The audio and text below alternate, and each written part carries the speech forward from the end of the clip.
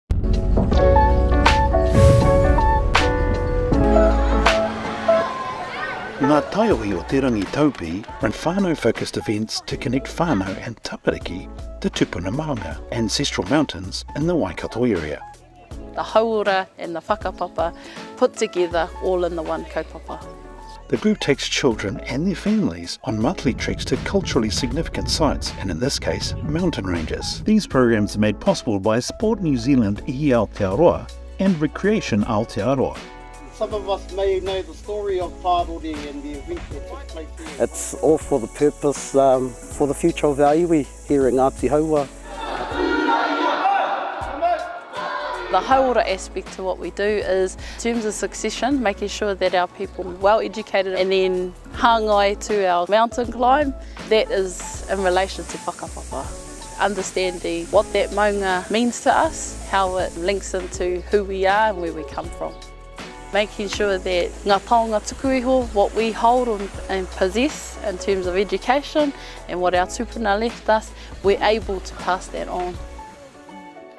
I felt happy that they were learning something about their tūpuna, a lot of the are direct descendants.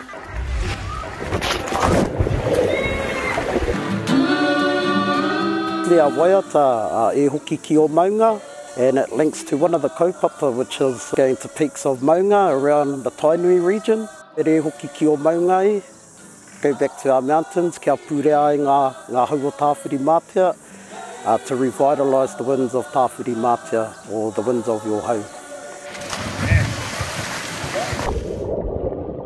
The aim of the program is to work toward a final mountain summit.